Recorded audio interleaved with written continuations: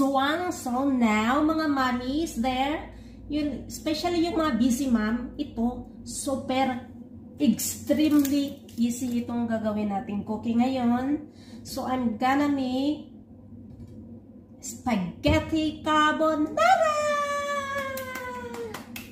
Okay, spaghetti carbonara without cream. So, hindi tayo gagamit ng double cream. It's very fattening. So, let's try to make it healthier. Okay, without using any cream. Now, we, we need spaghetti, pasta, 3 eggs. If 3 egg, it's good for 4 people, okay? Yung spaghetti pasta natin. 400 grams. Dapat kung apat na tao ang kakain. 30 ml of olive oil. 30 ml of olive oil. Tsaka isang garlic. 1 garlic. And 75 grams of grated parmesan. So, yung bacon natin, we need some 150 grams of bacon. So, slice po natin ng match steak. Sticks. Ma matchstick. Ano yun? Parang ano daw. So, slice. Ganyan. Dahil si amo lang kakain, I only have to make only for good for one person or ako lang kakain. So also we need salt and pepper to taste. All right. Let's begin by cooking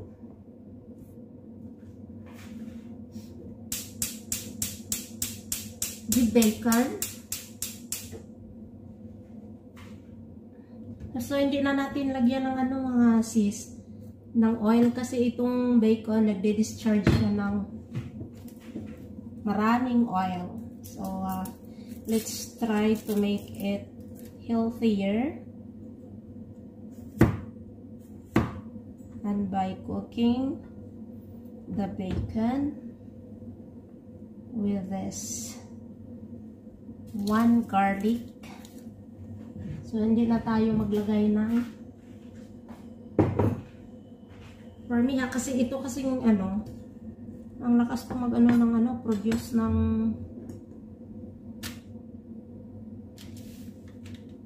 oil. So, nagantay tayo sa ating pan to heat up.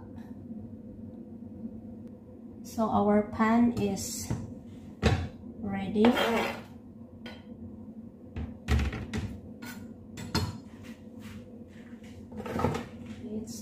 on our bacon.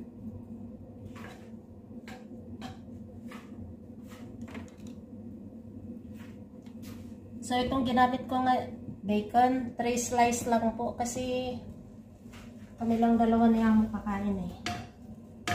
So, i-adjust nyo yung measurement. Siyempre, kung dalawa lang kakain, adjustan natin.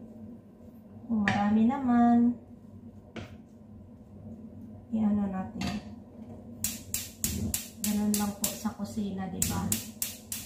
Let me transfer this to a bigger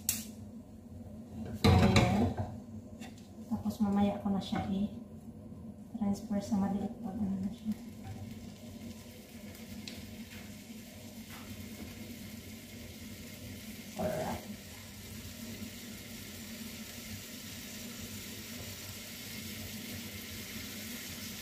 So, I think we cook it for like huwag po masyadong ano, yung toasted. Yung tama lang, kunting brown lang. Okay? Then we'll put the garlic. Pang paano lang yung garlic pang pawala sa langsa ng ating bacon.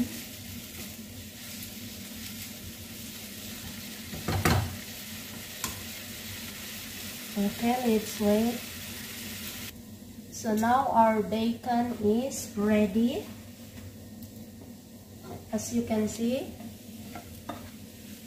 brown na siya. Let's put, out, put into the paper plate with a paper towel para mag-drain siya. Okay. Transfer to a plate with a paper towel kasi para na-drain yung tabatchoy niya. Yan.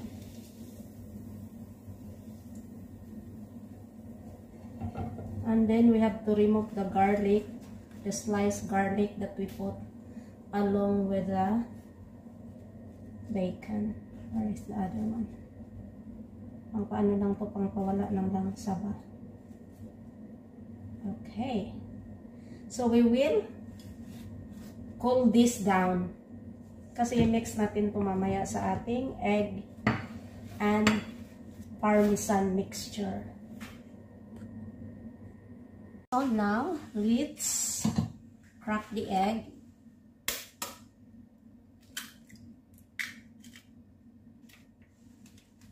For our sauce. Okay.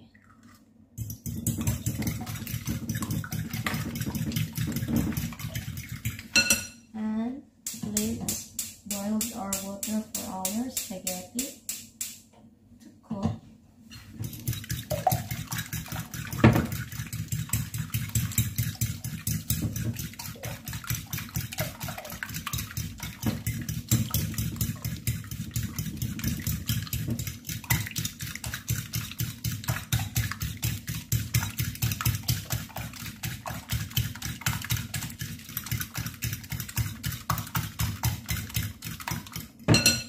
And let's put some salt.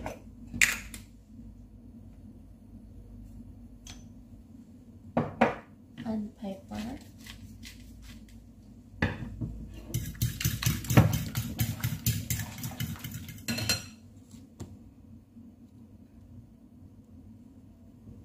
Then next put in the parmesan cheese into our egg parmesan cheese.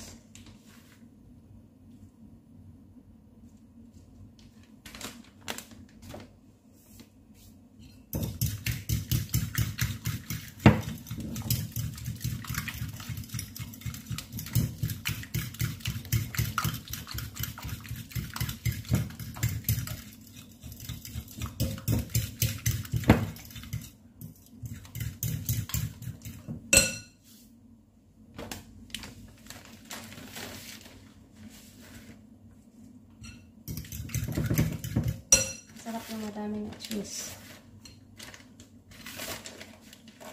Hindi ko na sure yung cheese kasi si Amo lang naman kakain. Pag apat na taong kakain, 150 gram of 73 grams of parmesan. Not 100. Pag apat ka tao, 75 grams of parmesan. Alright. Let's wait for our water to boil. Water is boiling. Let's put in the spaghetti.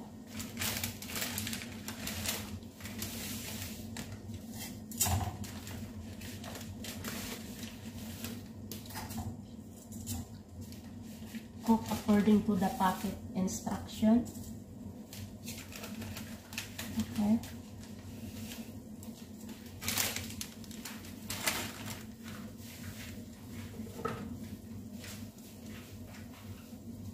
Just push it.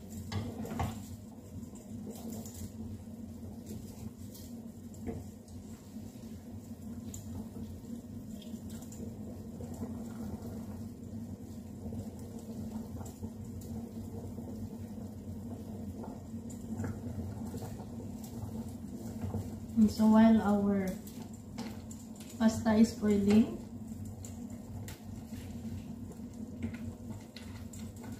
let's put this egg here to slightly cook. Yung parang mag-ano lang siya. Warm. Warm natin dito.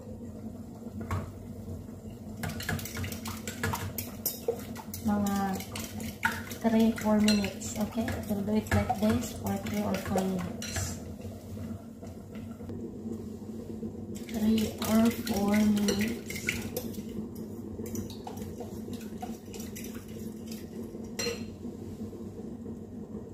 So, I guess our egg is ready. Ginawa natin to para ma-warm yung egg natin. Okay, let's remove it from the top of the boiling water. And we will wait for the pasta to finally cook.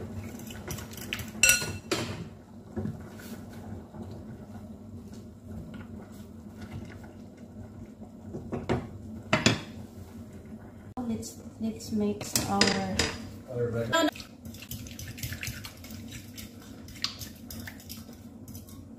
this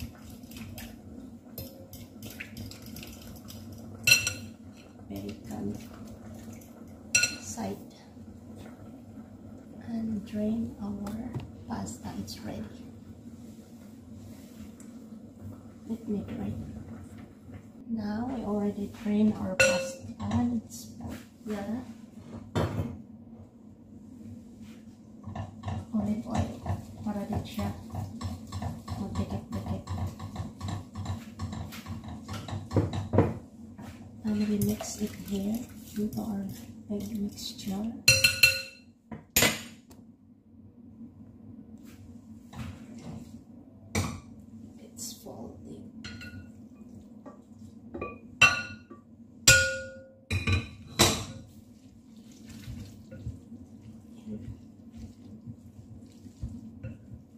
So, yan lang po ang sauce natin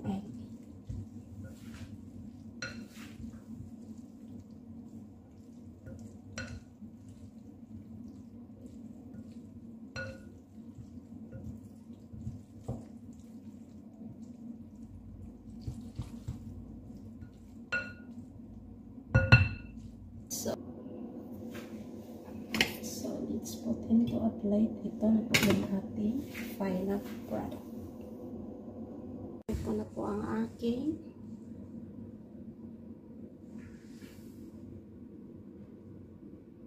pasta. Thank you for watching. Bye.